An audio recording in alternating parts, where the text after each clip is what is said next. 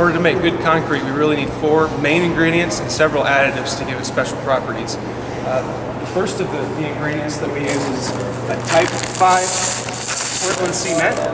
Uh, we're using type 5 because it gives it sulfate resistance and here in the western, uh, western Canada and western United States that's an issue with the soils that we have so we're building that in with the special cement that we use. Uh, we also use sand, which is over here, and stone, and then water. Now, one of the things that we look at when we make SCC concrete is the gradation curve. Uh, gradation is the size of the stone. So if I take a handful of stone, you can see that I have uh, stones that are all the way from you know fairly large to fairly small. Uh, the gradation curve would be a graph where you actually take each size of stone and you, and you plot out what percentage of each size you have. And what we're looking for with SCC concrete, which is the, the type of concrete we make, is a, a well-graded curve. It looks like a bell curve. What we're trying to avoid is a gap-graded material, which would be a curve with two peaks and a, and a valley in the middle. And so we've done a lot of uh, analysis of this material where we would take it and we shift it on sieves and they uh, can count uh, percentage by weight, how much is on each size. And we've selected these materials and we've selected the ratio so that we get that curve that we're looking for.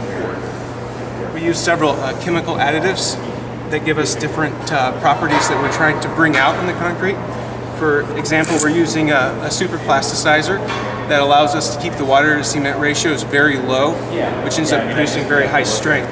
Another thing that we do to produce high strength is we are adding a, a microsilica, which ends up uh, in combination with the Portland cement, the super plasticizer, and the microsilica, we get a, a concrete that's over 10,000 psi in 28 days, which is an exceptional, uh, exceptional strength.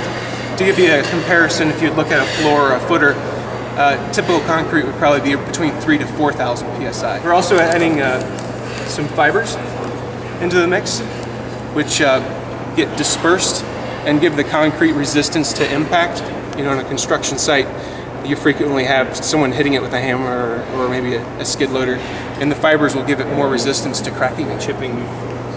Um, we're also entraining another liquid admixture. Uh, it's not this bucket, but another one that uh, entrains a specific kind of air into the concrete that gives the concrete the ability to resist cycles of freezing and thawing which uh, uh, definitely is pertinent to your weather here in, in Western Canada. Use an admixture that uh, we entrain into the, the mix that gives it um, corrosion resistance uh, so that the steel can't rust inside the concrete, which gives it more durability.